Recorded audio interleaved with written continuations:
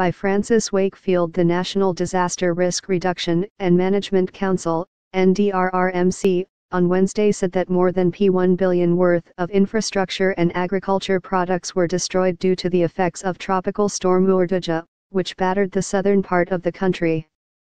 Undersecretary Ricardo B.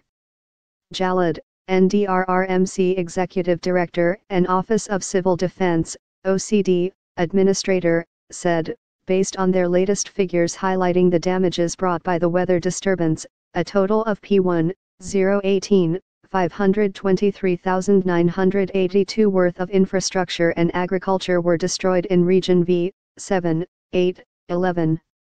The Caraycaray Bridge in Biliran is impassable after it was destroyed when Typhoon Urduja ravaged some parts of eastern and western Visayas as it made its landfall on December 16, Saturday.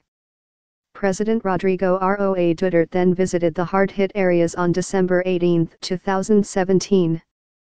Robinson Niñal Jr. slash Presidential Photo slash Manila Bulletin.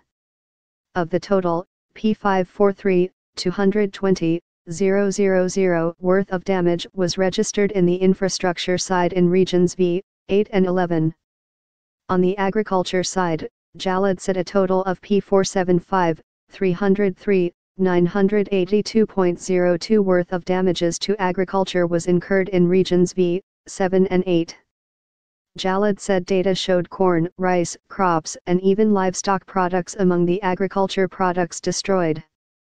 Jalad said a total of 171 houses in regions V, 8 and Caraga were also destroyed by Urduja. A total of 11 road sections and 7 bridges in regions Mimaropa V and 8 are now impassable. He said a total of 3 municipalities in Region 8 were affected by water shortage caused by the typhoon. These are the municipalities of Giporlos and Balangiga in eastern Samar, and Lope de Vega in northern Samar. Jalad said a total of 328 areas in regions Mimaropa, 6, 8 and 40 areas in region 6 and 8 were reported flooded. The NDRRMC said, based on reports, there are 41 people killed, 64 injured, and 45 missing.